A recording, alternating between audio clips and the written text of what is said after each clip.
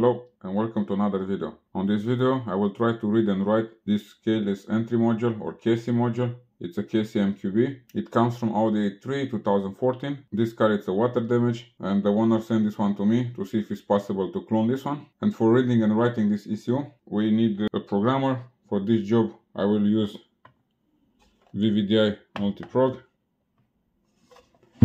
And I said will be also interesting if we add the CG Pro making the video more interesting and see also which type of diagram have each of these programmer if the connection are the same and see also how is the performance between these two programmers. I will open the control module, I will start the software and we go from there.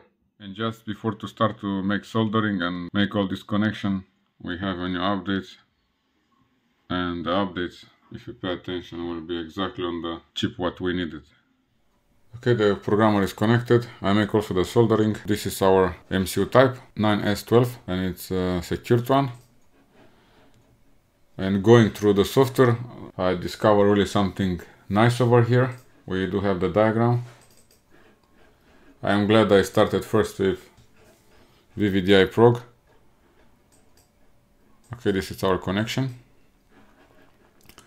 But as I said, I'm glad I started with VVDI and I'll show you why. You go here back and if you go here we go on Volkswagen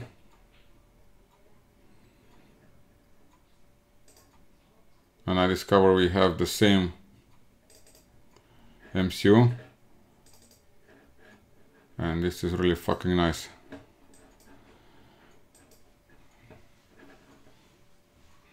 I have the soldering according to this diagram. As I said, I trying to solder from here, make my own points over here. And when I search little bit, as I said, really nice. This is nice. I use it many times the CG Pro because it's really good on this type of job. Till now it was better than VVDI, but let's see what VVDI can show us. Pay attention, you should remove this and this component also, okay? We go back now. Let's try to read our MCU.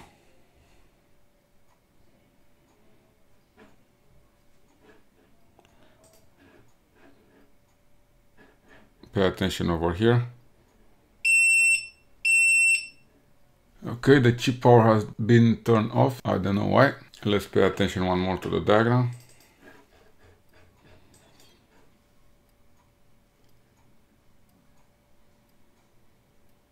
Black, yellow, red. Let's see which VCC I use it here.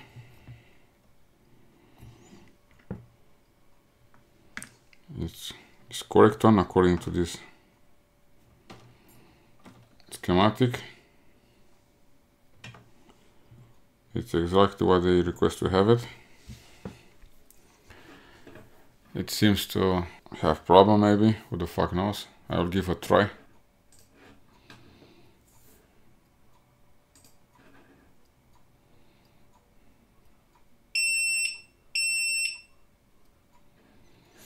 Okay, he identified the mask. This is our mask.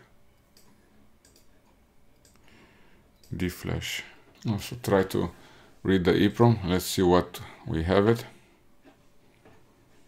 Because the D-flash, it can be with no data, I mean like zero. It can be possible. Let's try to read the EEPROM or P-flash.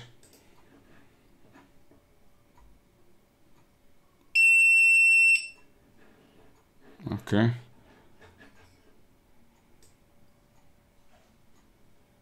And we do have readings here.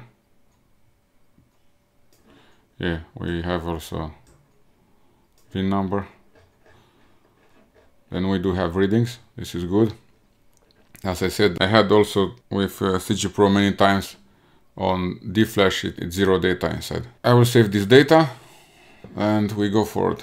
Okay, now let's proceed to read the P-Flash.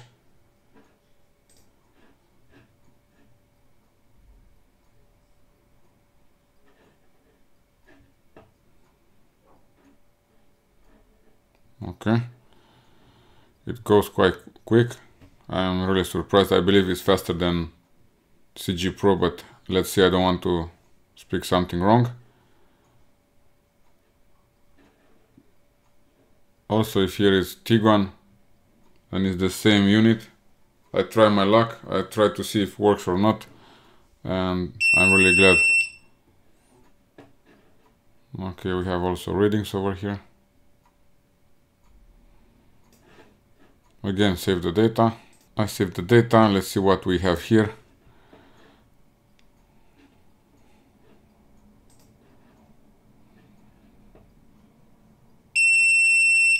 Zero. We don't have the data here. What I want to mention, this car goes to dealership and they make an update. Many times it's possible to change also the hardware number, not only the software number. And changing the hardware number, like for example, what we have here.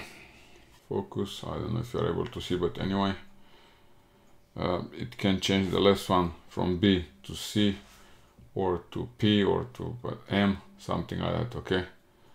When it's a huge update, that update doesn't modify only the software, will modify also the hardware I mind the functionality of this. And then you will have the same number maybe and you will believe you will be able to read that chip. Many times happens that you cannot uh, are able to read the chip anymore. I had this case where the module have a new update and no chance. It was quite good job. I mean like i'm really surprised. Vvdi improve i know i test this chip with vvdi prog but it was quite a long time ago and I didn't have so good results. I said I will try now with VVDI Prog. I didn't try this type of module till now and uh, you saw it also and I put also the picture again on the screen. Just start my work with this uh, programmer. I have a new update exactly on this type of chip. This is pure luck because it was also possible to don't have good results okay? This is the mask and this is what we will search on CG Prog we'll change now the programmer. I make uh, fast the soldering. I'll keep the same soldering points because I don't want to make different soldering.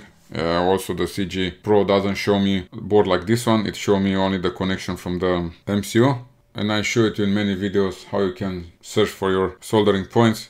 One of the best position what you have it. Don't try to solder directly on the on the chip because it's uh, really hard or you can use a microscope and will be different story but also if you have possibility to go like let's say over here far away from the chip it's much better. Good. Let's swap the programmers and we go from there. CG Prog is connected. You go over here on chip and then we search for our mask. It's not 36H is this one. It will show us different mask, but you'll see when we connect it, we'll take the right one. And uh, you have the diagram. Your diagram is like that.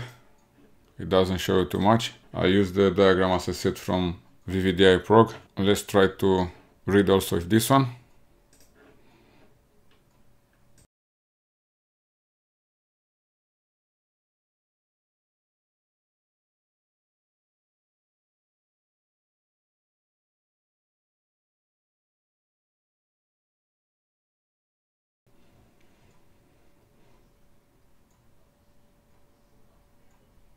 The readings go also really quick here.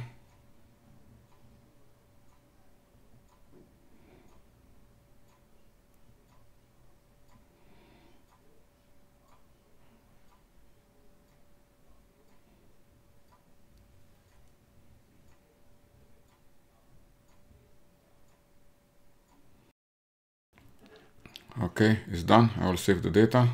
Let's try to see if we have also something on DFlash, but as I said, uh, I had this before and it is true then zero data. But let's see what uh, he give us. Yeah, the partition is zero. Okay, then the VVDI multiprog it was showing us correctly.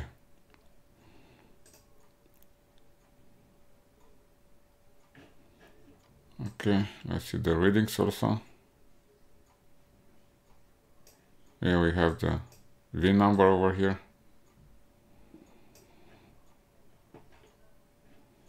And we'll repeat again here. Kessy Hella MQB. It was a fast reading, fast connection.